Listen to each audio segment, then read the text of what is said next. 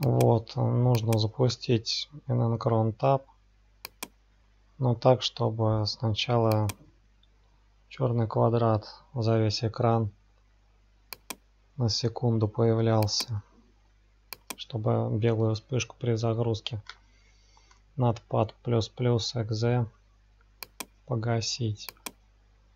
И если записать вот так, то есть просто файл требуемый запускаем, то почему-то вот это вот окошко еще возникает, причем закрывается вместе с закрытием.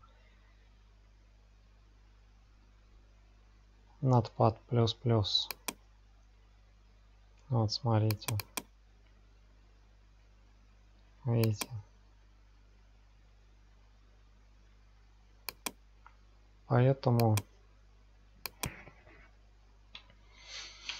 методом проб и ошибок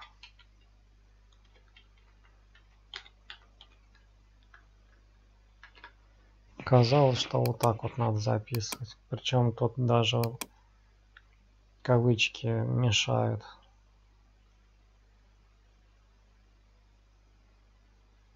Пробуем. Видите, командной строки нет.